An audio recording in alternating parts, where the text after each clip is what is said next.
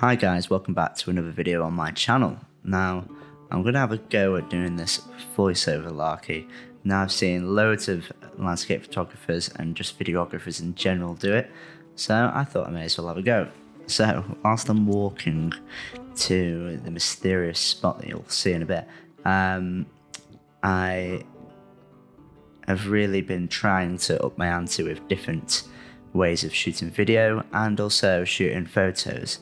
Um, now I'm on Instagram at Ben Lester Photography, shameless plug, I know. Um, but I've been really trying to make sure that I get three different shots when I'm at these locations. Now, as you might be able to tell in a little while, um, I am w- walking my way up to a spot in the Peak District, which is a very famous spot, and it's called Bamford Edge.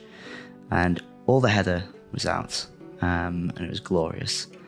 Um, so, beginning of summer, um, and I managed to rush my way up to this this little rock first, um, where I made myself look like a right idiot by standing on it in three, two, one. Yeah, no, not a cool move.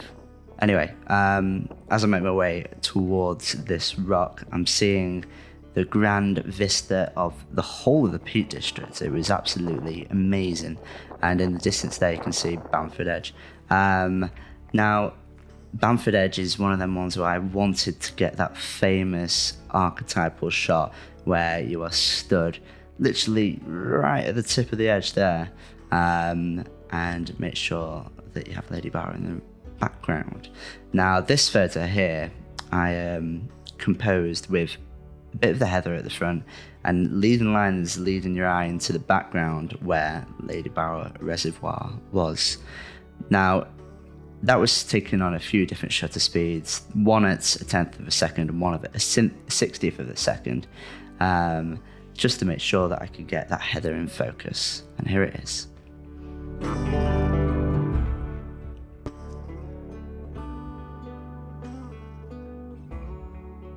Now, I also took another photo, which was um, also heather in the front, which seems to be a kind of running theme at the moment.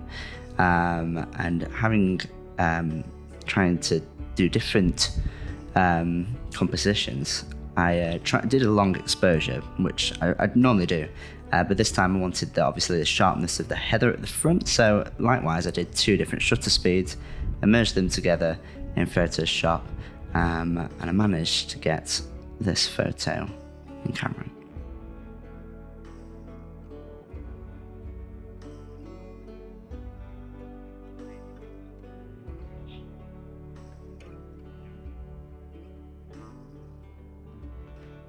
Now, I hope you enjoyed that video. Um, I know it's a short one, and I'm to have to cut it even shorter because this clip's going to finish. But uh, please subscribe and comment below um, I'm gonna have plenty more footage in the next video, I promise.